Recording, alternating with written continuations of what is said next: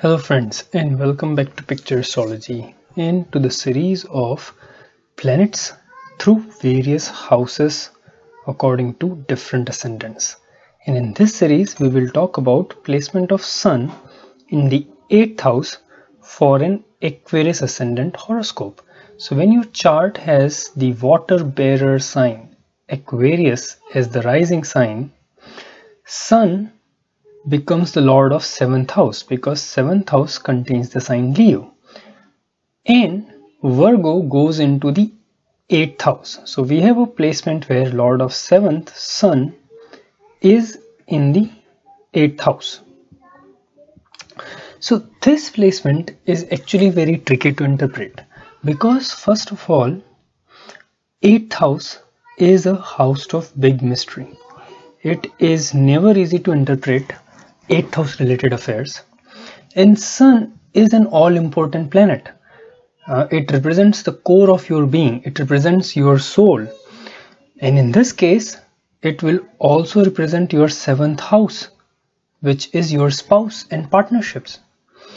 So in next few minutes we will try to decode this mysterious placement of sun. So before we start our analysis let's just see how many houses this placement is going to directly affect. So first of all, the seventh house because Leo sign is present here, which is Sun's own sign. Eighth house, definitely because Sun is present in the eighth house. And from the eighth house, Sun will have a direct aspect here on the seventh, uh, second house, which is the house of your family, family of birth. Your income uh, not income but your immovable property uh, property or wealth you accumulate in life.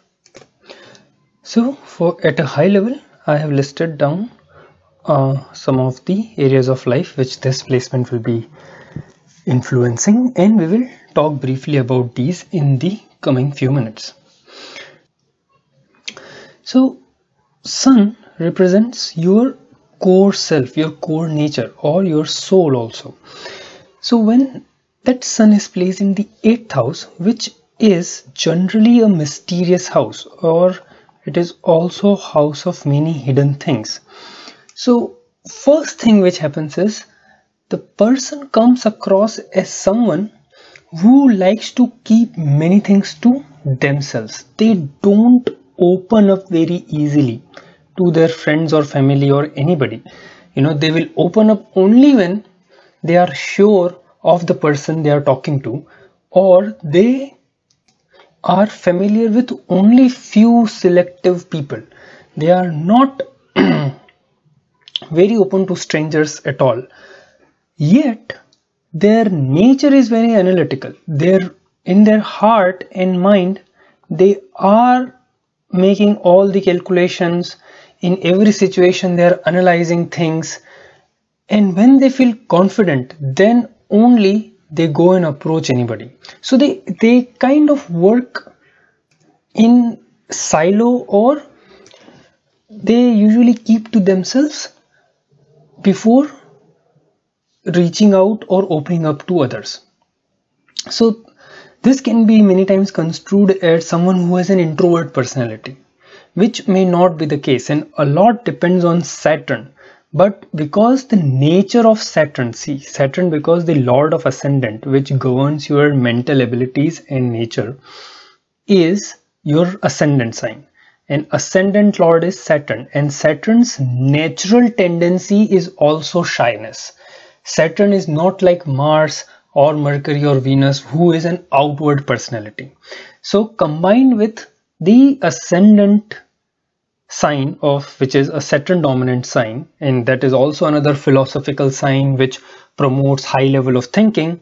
Sun present in this hidden mysterious eighth house place gives a personality which could be construed as an introvert.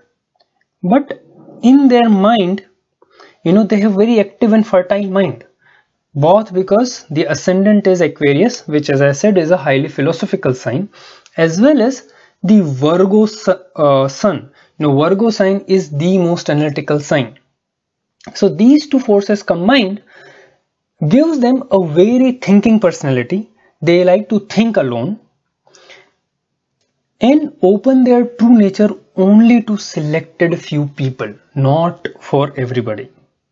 So for most people, there is always an unknown quantity about their nature. You know, people find it difficult to fathom or understand such personalities.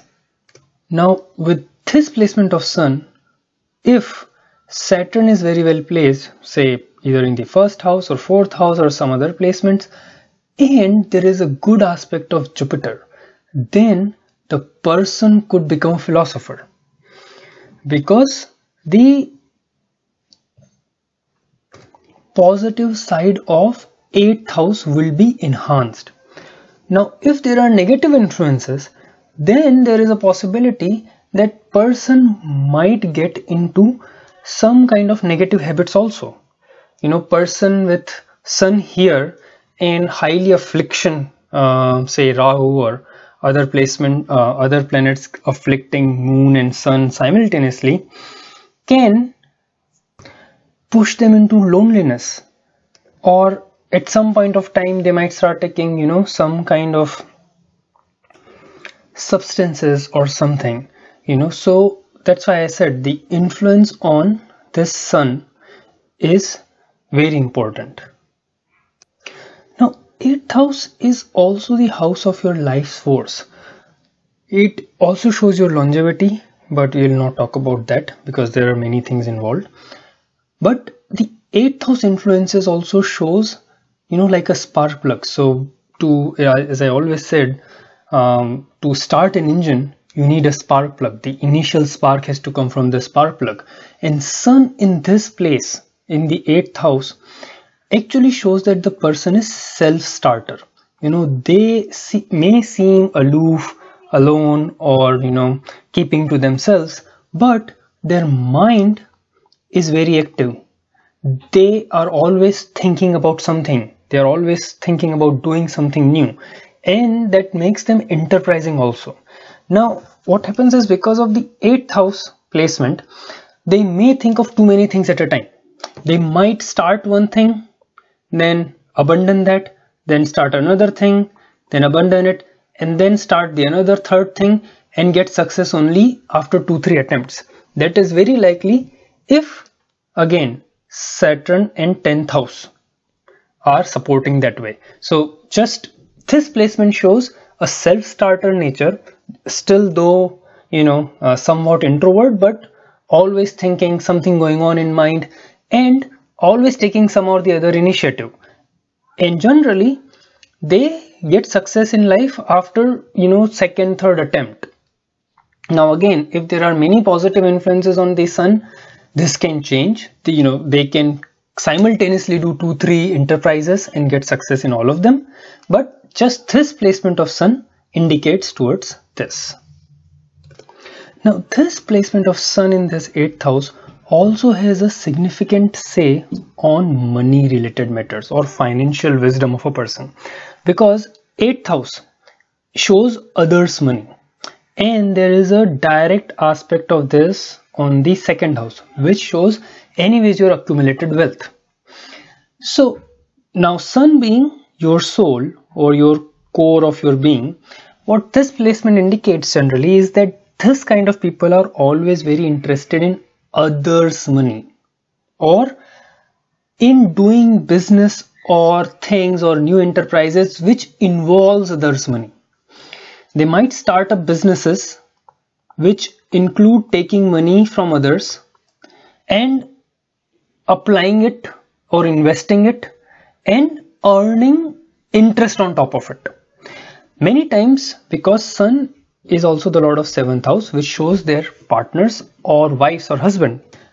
If the influence on sun is good, if there are positive influences on the sun, then their married partners, you know, their wife or husband or their business partners, they become very helpful in their business enterprise and they get success from those money.